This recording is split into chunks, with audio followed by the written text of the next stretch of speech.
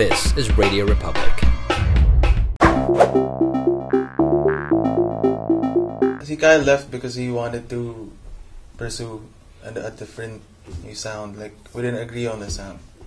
It's that. Tapos, simpleng usapan. So, yung idea namin before ni Kyle was to write the songs and then give it to the musician to study to see how it changes rin. Kasi, like I said, eh, hindi naman nagmamadali rin with the sound. So, nag-iiba na nag-iiba. Tinatry rin namin yung one time sa Alchemy, yung tatlong members lang. Minsan dalawa lang kami. So, just to give equal time on each. With the musicians, we've been working with a few musicians over the years. Miggy Concepcion is the constant keyboardist now. But he has, he's like the keyboardist of everyone. Tapos, uh, he's a bassist. Sometimes I ask help from Earnville member pa rin si Manny.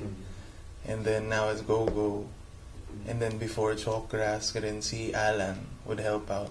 Nakakapanibago, totoo. Pero minsan biglang, uy, ano yun? May magic. Bigla na lang nagpo-perform ka, parang ano yun, may pinasok siyang ganun. Tapos parang, wow, sama na natin yun.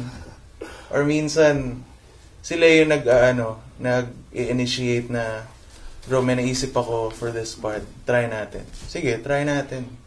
Tapos yun, minsan nagiging kanta. Like Alan wrote one, Zero Choice. And then si Miggy, sa Leaving Soon, siya yung very, yung lumalabas na riff. Siya yun.